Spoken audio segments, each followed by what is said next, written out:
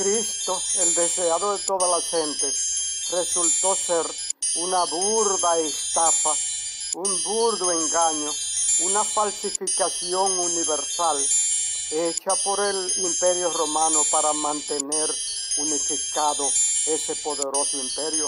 Todas las gentes hoy tienen que reconocer que Cristo es una gran falsedad